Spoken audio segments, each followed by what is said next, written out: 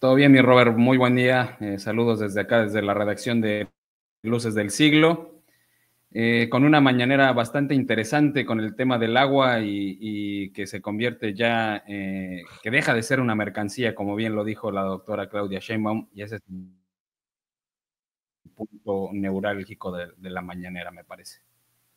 Es correcto, pues mi querido Sergio, vamos entrando en materia, si así te parece bien.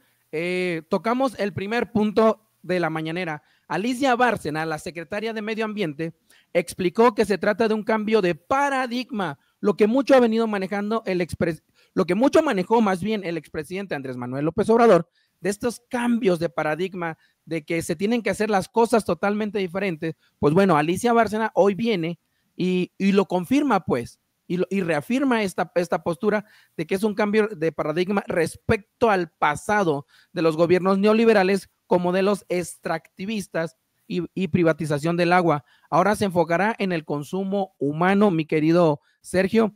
Eh, mira, te doy un dato eh, rapidísimo que me, que me causó bastante, bastante inquietud.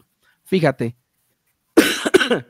Dice, la pregunta es, ¿quién explota el agua en México?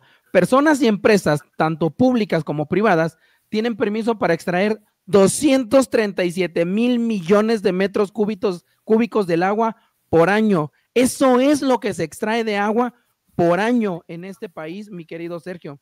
Y hoy, y hoy Alicia Bárcena y la doctora Claudia Sheinbaum dicen, ¿saben qué? Pues el agua ya no va a ser una mercancía, amigo. Es correcto, ese es, el paradigma que, viene a romper este gobierno, que ya había iniciado con, con el expresidente Andrés Manuel López Obrador, ahora con Claudia Sheinbaum se van con todo a fondo para recuperar el control del agua, porque como bien lo dijeron hoy en la conferencia, eh, el agua es un bien de la nación, le pertenece a la nación y es un derecho de todo el pueblo. Así que pues se acabaron eh, estos negocios que se hacían eh, y que se llenaban las, las manos los políticos de antaño. Y como bien lo dijo también la presidenta, pues los adversarios por eso están molestos, porque con el agua hacían negocios eh, realmente jugosos en todo el país. Sí, fíjate, otro, otro, les doy otros datos interesantes. Bachoco, Bachoco eh, tiene permitido extraer casi 20 millones de metros cúbicos de agua al año, equivalente a 7.650 albercas olímpicas. Solo Bachoco. Ahora, si nos vamos, o sea, si nos ponemos a revisar casi casi empresa por empresa, porque hay mucha información acerca de lo que consumen las empresas, que ojo, tampoco yo estoy en la postura de que no le den agua a las empresas, pues claro que deben de tener agua, eh, no somos eh, absurdos ni ingenuos aquí, ¿sí? pues claro que deben de tener agua, porque si no, ¿cómo, cómo procesan lo, lo, que nos venden, ¿no? Y lo que consumimos, obviamente.